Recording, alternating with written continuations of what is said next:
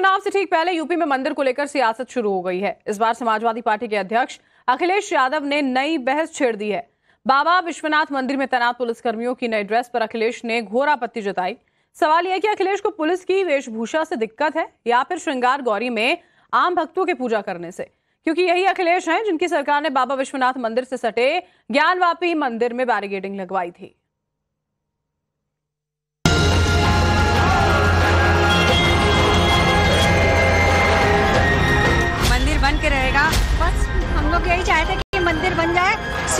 विराजमान हो जाए और हम लोग वैसा दर्शन करने बहुत अच्छा से दर्शन हुआ और हम चाहते हैं कि ऐसे रोज दर्शन हो। तो भव्य मंदिर यही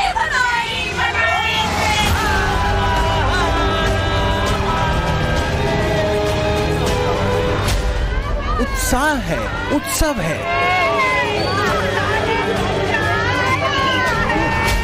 आनंद है। बनारस की गलियों में आस्था नया आकार ले रही है क्योंकि एक साल की प्रतीक्षा की पूर्णता का दिन है।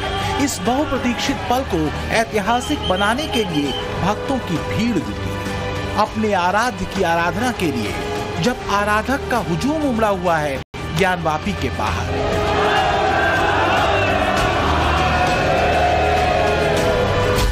तब इसी बनारस की एक तस्वीर सोशल मीडिया पर सियासत को विस्तार बाबा विश्वनाथ के दरबार की इस तस्वीर के ज़रिए सूबे की सरकार को सवालों के चक्रव्यूह में खड़ा कर रहे बाबा विश्वनाथ के दरबार में सुरक्षा कर्मियों को लेकर सपा सुप्रीमो अखिलेश यादव ने क्यों सवाल उठाए?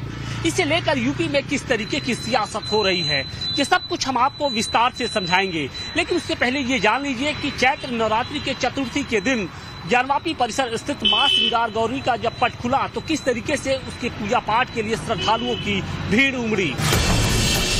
भगवा धारियों का ये दृश्य उस गली का है। जिसका एक सिरा उस ज्ञानवापी से जाकर मिलता है, जहाँ पर सनातनियों की आराध्य माँ श्रृंगार गौरी का विग्रह अवस्थित है, जहाँ हर साल चैत्र नवरात्र के चौथे दिन भक्त पूजा करने के लिए पहुँचते हैं। इस बार भी इस पवित्र दिन सुबह से ही श्रद्धालुओं की भीड़ उमड़ने लगी।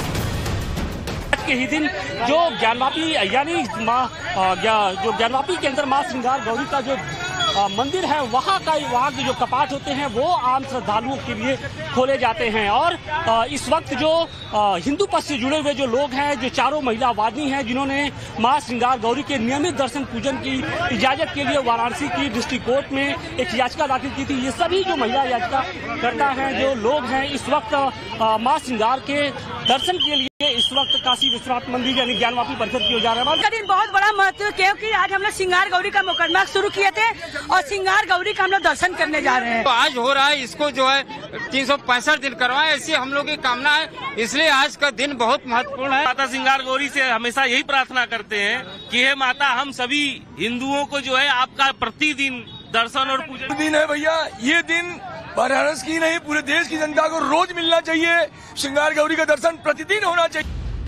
दरअसल माँ श्रृंगार गौरी की प्रतिदिन पूजा की याचिका अदालत में है।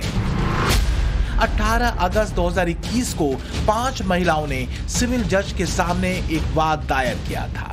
महिलाओं ने ज्ञान वापी मस्जिद के बगल में बने श्रृंगार गौरी मंदिर में रोज़ाना पूजा दर्शन की मांग की थी। याचिकाकर्ताओं की मांग पर ज्ञानवापी परिसर का सर्वे कराने का आदेश दिया गया था। अदालत के आदेश पर मई 2022 में ज्ञानवापी मस्जिद का सर्वे किया गया था। ज्ञानवापी परिसर में कई सनातनी सबूत मिलने के दावों के बावजूद माँ श्रृंगार गौरी की प्रतिदिन पूजा अर्चना वाली याचिका अब भी अदालतों की परिक्रमा ही कर रही है। लेकिन इस परिक्रमा के बीच जब सालाना पूजा करने के लिए भक्त माता के दरबार में पहुँचे थे तो उत्साहित थे। हालाँकि हमेशा से ऐसा नहीं। करीब तीन दशक पहले यहीं पर इसी माँ श्रृंगार गौरी की हर रोज पूजा हुआ करती उन्नीस में मुलायम सिंह सरकार ने ज्ञानवापी की बैरिकेडिंग करने का आदेश दिया। ज्ञानवापी की पश्चिमी दीवार पर मौजूद माँ श्रृंगार गौरी की प्रतिमा भी बैरिकेडिंग के अंदर ही आ गई। इसके चलते दर्शनार्थियों को वहाँ जाकर दर्शन पूजन करने से रोक दिया गया। इसके खिलाफ हिंदूवादी संगठन अदालत में गए कोर्ट ने चैत्र नवरात्र के चौथे दिन माँ श्रृंगार गौरी के दर्शन पूजन का अधिकार। तब से साल में एक बार माता की पूजा होती हालाँकि मुख्यमंत्री योगी आदित्यनाथ कई बार संकेतों में मथुरा काशी का ज़िक्र कर चुके हैं। भगवान कृष्ण ने तो पहले कहा, जब वो समझौता कराने के लिए गए थे, महाभारत का युद्ध टालने के लिए गए थे, कि देना हो तो आधा दो। लेकिन इसमें भी यदि बाधा है तो दे दो केवल पाँच ग्राम। लेकिन वो पाँच गाँव, लेकिन यहाँ तो इस समाज सैकड़ों वर्षों से यहाँ की आस्था केवल तीन के लिए बात कर रही है। तीन के लिए। इस सब के बीच माँ श्रृंगार गौरी के पट खुलने से ठीक एक दिन पहले ही उत्तर प्रदेश के पूर्व मुख्यमंत्री अखिलेश यादव ने सोशल मीडिया पर सवाल उठाते हुए एक पोस्ट किया। ये सवाल उसी बनारस के बाबा विश्वनाथ मंदिर को लेकर है, वहाँ तैनात सुरक्षा कर्मियों को लेकर है। असल में बाबा के दरबार में भक्तों की भीड़ को काबू करने के लिए जो सुरक्षाकर्मी तैनात किए गए हैं, उनका ड्रेस बदला बदला सा है। मंदिर में खड़े पुलिस वालों के माथे पर त्रिपुंड है। कुर्ता धोतीधारी पुलिस वाले के गले में रुद्राक्ष की माला है, शिवनामी पटका है और लाल वस्त्र पहने तमाम पुलिस वाले हूबहू मंदिर के पुजारी की तरह दिख रहे गर्भगृह में भीड़ को नियंत्रित कर रहे लाल भेषधारी पुलिसकर्मियों का वीडियो लगाकर अखिलेश यादव ने सवाल पूछा कि पुजारी के वेश में पुलिसकर्मियों का होना किस पुलिस मैनुअल के हिसाब से सही है? इस तरह का आदेश देने वालों को निलंबित किया जाए। कल को इसका लाभ उठाकर कोई भी ठग भोली भाली जनता को लूटेगा तो उत्तर प्रदेश शासन प्रशासन क्या जवाब देगा? अखिलेश यादव की आवाज़ उठने के बाद तमाम समाजवादी इसका विरोध कर रहे हैं। धर्म के खिलाफ बता रहे हैं। जो दिया है बाबा भीमराव अंबेडकर जी ने और जो कॉन्स्टिट्यूशन है, उसी के माध्यम से ही हम लोग को देश को चलाना है। और इस तरह के जो ये भाजपा जो हरकतें करती है ये कहीं ना कहीं मैं समझती हूँ लोग जागरूक हो जाएँ कि किस दिशा में ये देश को ले जाना चाहते हैं। मगर सरकार को इसमें कुछ भी गलत नहीं लग रहा। पुलिस की दलील ये है कि अन्य जगहों से इतर मंदिर की ड्यूटी है लिहाजा भक्तों को आसान दर्शन कराने के लिए ऐसी व्यवस्था हुई है। लोगों ने एक प्लान बनाया है कि जो भी पुलिसकर्मी यहाँ पर ड्यूटी कराएँगे उनकी पहले तीन दिन की ट्रेनिंग कराई जाएगी।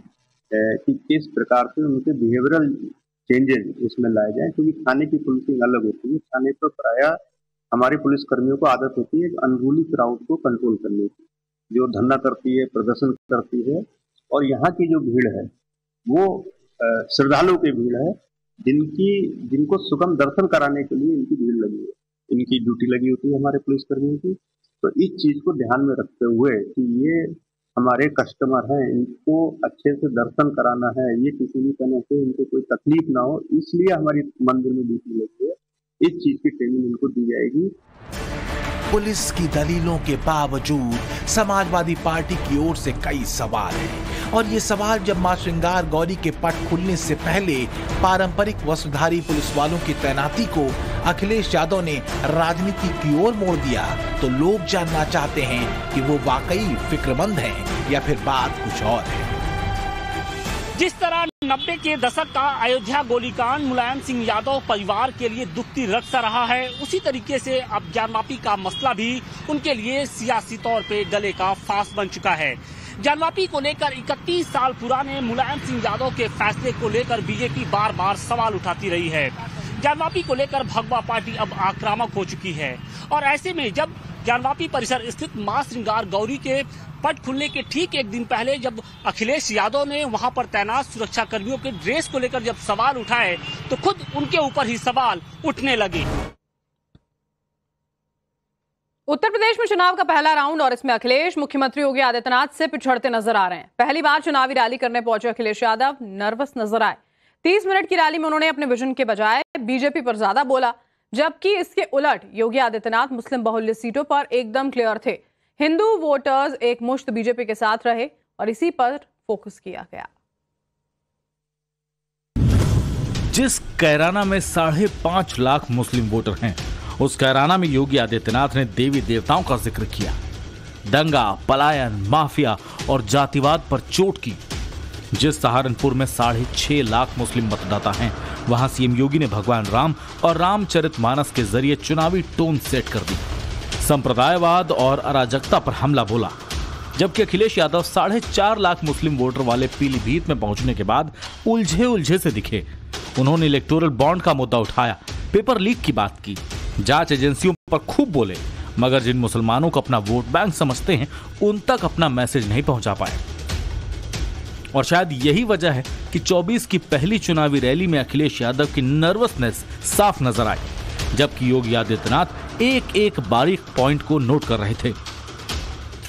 पहले माफिया सिर चढ़ करके बोलते थे।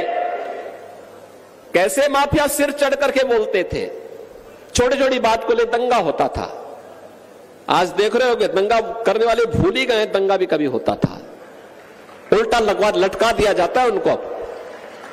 दंगा करते हैं तो तुरंत पकड़ करके उल्टा लटका कर नीचे मिर्च का झोंका लगा दिया जाता है कि हमेशा के लिए भूल जाए। ये घबराए हुए हैं कि नहीं घबराए हुए हैं? और इसलिए घबराए हुए हैं कि दिल्ली के मुख्यमंत्री को जेल भेज दिया, झारखंड के मुख्यमंत्री जी को जेल भेज दिया। बताओ जेल भेज दिया कि नहीं भेजा है? और अगर 400 पार हो रहे होते तो सब एरे गहरे नत्थु खैरों को अपनी पार्टी में शामिल कर रहे हैं। अखिलेश यादव पीलीभीत में 30 मिनट तक बोले, मगर बॉडी लैंग्वेज से लेकर वोटर से डायरेक्ट कम्युनिकेशन तक बहुत कुछ मिसिंग सा नज़र आया। वजह बताई जा रही है, पीलीभीत से समाजवादी पार्टी का कभी ना जीतना। जबकि बीजेपी की लगातार चार बार से रिकॉर्ड तोड़ वोटों से जीत हुई है। एक तरह से कहा जाए तो अखिलेश ऐसी सीट पर चुनाव प्रचार करने पहुँचे, जहाँ उन्हें बीजेपी की जीत के चांस ज़्यादा लग रहे हैं, जबकि उसके उलट योगी आदित्यनाथ हार को भी जीत में बदलने की पूरी कोशिश कर रहे हैं। इसीलिए उन्होंने कैराना और सहारनपुर में हिंदुत्व कार्ड चला। पहले पर्व और त्योहार कोई आता था, और खासतौर पर पश्चिमी उत्तर प्रदेश में कोई भी पर्व और त्योहार आता था। होली, दीपावली, जन्माष्टमी, शिवरात्रि, रक्षाबंधन, कोई भी पर्व और त्योहार आता था, कर्फ्यू लग जाता था। प्रशासन भी उनका साथ देता था। अब कर्फ्यू नहीं, अब तो धूम धड़ाके के साथ कावड़ यात्रा निकल पड़ती है। कोई रोक टोक नहीं है। पहले जहाँ से चिल्लाट होकर के लोग खतरे में होए की आवाज़ लगा करके उपद्रव करते थे, वे सब माइकी हमने उतार दिए। न रहेगा बाँस, न बजेगी बांसुरी। 2019 के चुनाव में बीजेपी सहारनपुर सीट हार गई थी। जब अखिलेश और मायावती ने मिलकर चुनाव लड़ा था, इस बार दोनों के रास्ते अलग हैं। पिछले तीन चुनावों को देखा जाए तो दो बार बीएसपी जीती है और एक बार बीजेपी। इस सीट पर कांग्रेस उन्नीस सौ चौरासी के बाद से कभी नहीं जीत पाई है। समाजवादी पार्टी का कैंडिडेट भी 2004 के बाद सहारनपुर से सांसद नहीं बना। कहने के लिए भले ही 40 फ़ीसद मुस्लिम वोटर्स यहाँ जीत हार तय करते हों, मगर इन वोट के बटने के चांस पूरे होते हैं, क्योंकि मायावती ने भी मुस्लिम कैंडिडेट पर दावा आजमाया है, और यही वजह है कि योगी धारा प्रवाह नज़र आए। हमारी सरकार ने दंगा मुक्त वातावरण दिया है, कर्फ्यू मुक्त उत्तर प्रदेश दिया है, और दंगा और कर्फ्यू लगाने वालों की गर्मी को शांत करके आपको एक शांत वातावरण दिया है, बहुत शुद्ध वातावरण दिया है।